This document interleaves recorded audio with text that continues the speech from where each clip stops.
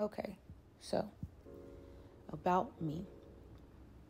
Normally, when people do an about me, it's just like a little snippet, a little paragraph about like where they're from, their history, whatever. But like, I just feel like that's not me.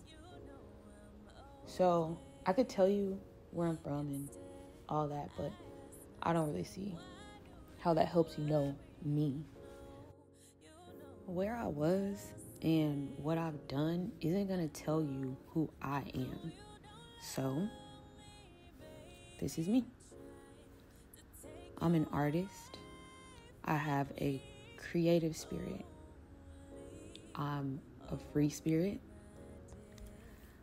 I'm an energy constantly finding the balance between show they ass and nah, it's okay. God got it. I'm not perfect, but I guide myself with a positive mind. I trust God. You may call it spirit, universe, the divine, whatever. Whatever you call it, just believe it when you feel it. I have a kind heart. I have an encouraging presence. I'm a friend to those who are friends to me. I mind my business and I prioritize myself. I seek growth through positive experiences. I'm helpful. I'm understanding. I'm wise. I'm funny. I'm intelligent. I'm beautiful. I actually think I'm gorgeous, but that's neither here nor there. I work hard but I think even harder. And I used to categorize myself as an overthinker, but then I thought about it.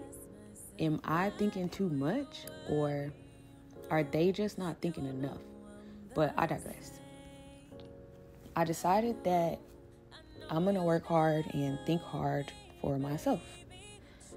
I decided that I'm gonna be me for me. And who I am at my core is peace and love. That's me.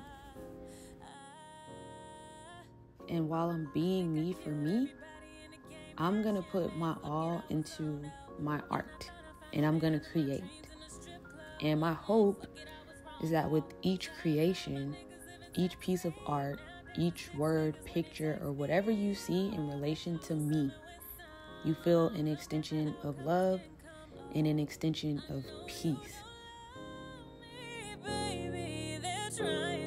to take you away from me. Oh.